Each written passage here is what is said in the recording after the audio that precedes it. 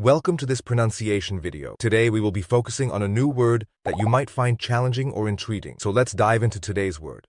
Gunny, which means Coarse fabric made from jute or hemp, used for sacks, bags. let's say it all together. Gunny.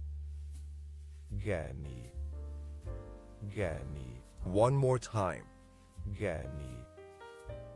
Gunny. Gunny. Thank you for joining us on this adventure in pronunciation. Remember, language is a journey, not a destination. Keep exploring, experimenting, and expanding your linguistic horizons. We'll see you next time.